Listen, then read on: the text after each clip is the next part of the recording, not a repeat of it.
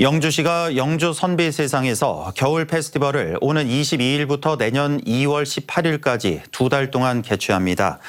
축제장 곳곳에 인공 눈과 크리스마스 트리가 설치되고 전통 무예장에는 범퍼카와 air bounce가 운영됩니다.